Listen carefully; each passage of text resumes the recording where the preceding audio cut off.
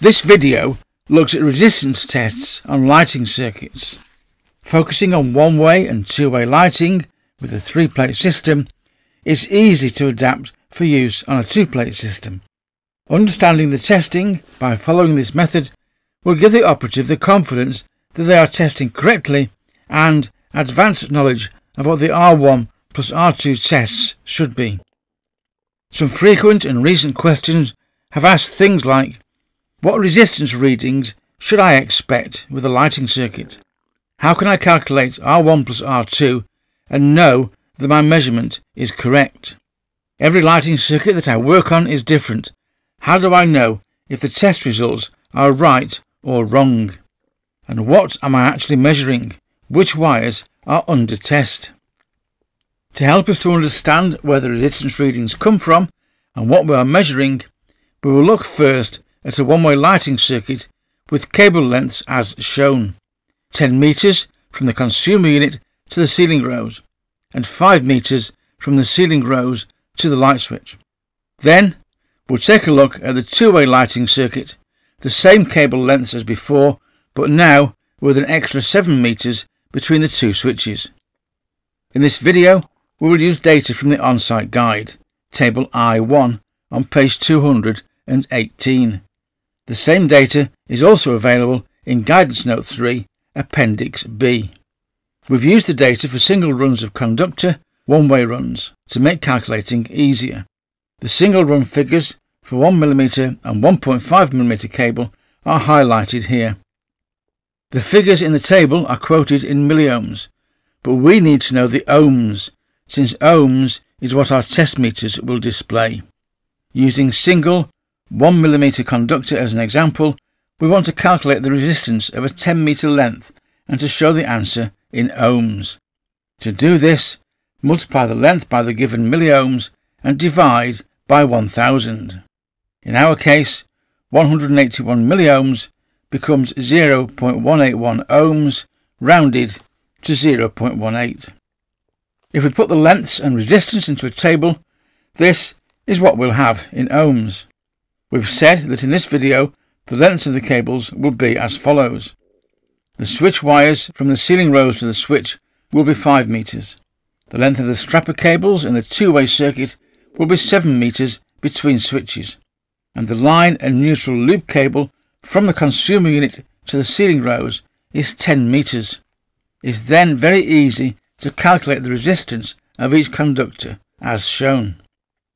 In this video, we'll show any earth or CPC cable as a solid green colour to make it easier to display. And conductors that are not under test will be shown as a solid colour, whilst those being tested will be shown as dotted with white, as displayed here. Three cables will be used in the drawings. Cable 1 is the loop cable from the consumer unit to the ceiling rose in 1.5 by 1mm twin and earth. Cable 2 is also 1.5 by 1mm twin and earth and this is the switch cable. Notice that the blue conductor has brown sleeving over the ends to signify that at some point this conductor will have 230 volts or more on it. And cable 3 is 1mm 3 core plus earth strapper cable for use between the two switches. And again, in keeping with good working practice, the black and grey are both marked with brown sleeving. Shown here is the basic one-way lighting circuit using the three-plate method. Shown is cable number 1, the 10 meter loop cable from the CU to the ceiling rose, and cable 2, the 5 meter switch cable between the ceiling rose and the light switch. We shall begin with testing continuity between the consumer unit and the ceiling rose. Not all books will show this test, but I always do this first, since if this bit is not right, then nothing else is going to work as it should. To set up the test, we first carry out a safe isolation procedure and lock off. Remember, if the circuit is still energized, you will find out first. We should remove the line, neutral and earth or CPC conductors from their connections in the consumer unit.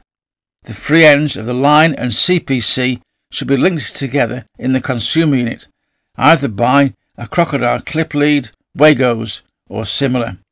Then test for continuity of the line and CPC at the ceiling rose. Let's look at this. The low ohms test will be between the live loop terminal in the ceiling rose and the earth stud in the ceiling rose. We'll be testing the resistance of cable number 1 and if the meter shows a satisfactory and low enough resistance reading, we can say that continuity has been proved. But what is a low enough reading? If we use the conductor resistance table that we created earlier, we can work this out. Make sure that you've converted the readings from milliohms to ohms. Here are the values that we should expect. 10 meters of 1.5mm cable is 0.12 ohms, and 10 meters of 1mm cable is 0.18 ohms. Thinner cable, higher resistance. The total for the two is 0.3 ohms. The dotted lines show the two cables under test, from the live loop terminal to the consumer unit on the brown conductor, through the link to the CPC and back to the earth terminal on the CPC. In this case, we have a reading of 0.3 ohms as expected and good continuity is confirmed. The switch position will make no difference to the readings it will always read continuity, which is 0.3 ohms in this case. This is a permanently energized part of the circuit. Now we can test continuity from the consumer unit to the light switch, and we will find R1 plus R2 at the same time. You will need the value of R1 plus R2 for the test certificate. We should leave one test probe on the earth terminal and put the other probe on the switch block the outside block of two holes.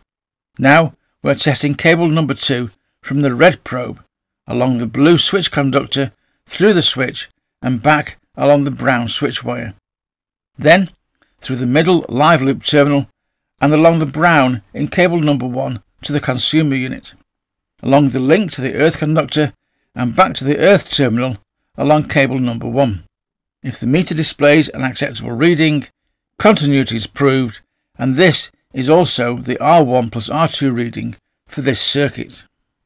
And here are the readings that we should expect.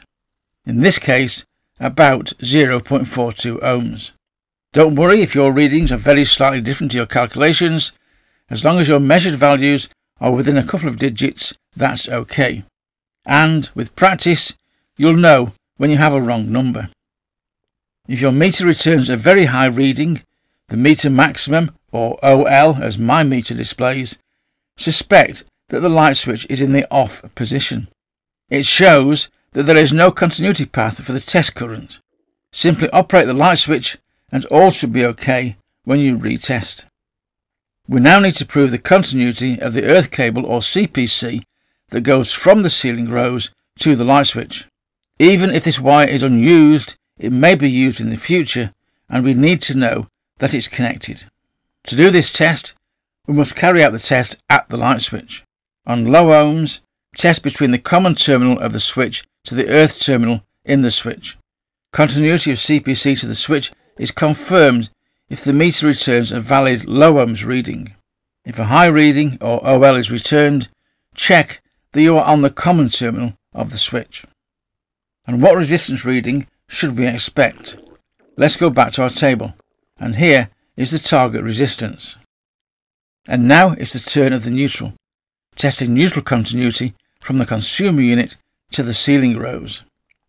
Reposition the link at the consumer unit to connect the earth conductor to the neutral conductor. Then test on low ohms between the earth terminal and the neutral block, both at the ceiling rose. This will test along cable number 1. If you have a high reading, oh OL for instance, check that you've actually changed the position of the link.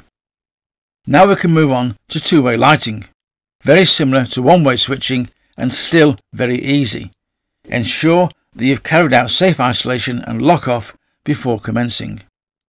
This looks a little more complicated, but stick with it. The first test is the same as the one-way lighting test. Prove continuity from the consumer unit to the ceiling rose. Link the line and earth conductors at the CU and test at the ceiling rose between the live loop block and the earth terminal. Now prove continuity to the switches.